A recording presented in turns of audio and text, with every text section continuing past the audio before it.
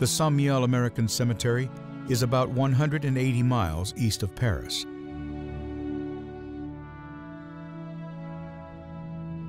The burial ground lies in the area where the U.S. First Army fought for and captured the Saint-Mihiel salient during World War I. Nearly 4,200 American servicemen and women are buried here.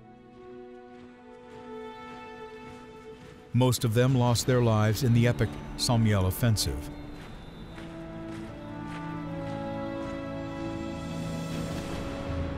A Medal of Honor recipient, Lieutenant John Hunter Wickersham, was killed when gallantly leading a charge on the German trench.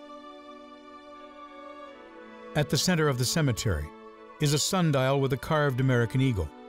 Inscribed on its base is General John J. Pershing's promise Time will not dim the glory of their deeds. The memorial itself is of white stone, with a spectacular circular colonnade.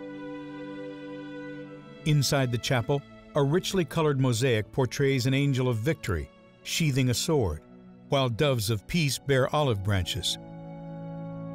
A large battle map of multi-hued marble depicts the division sectors during the Saint-Mihiel campaign.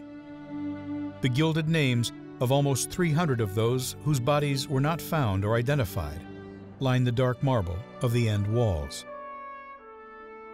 Among the graves is an imposing sculpture of a young American officer. An inscription reads, He sleeps far from his family in the gentle lands of France.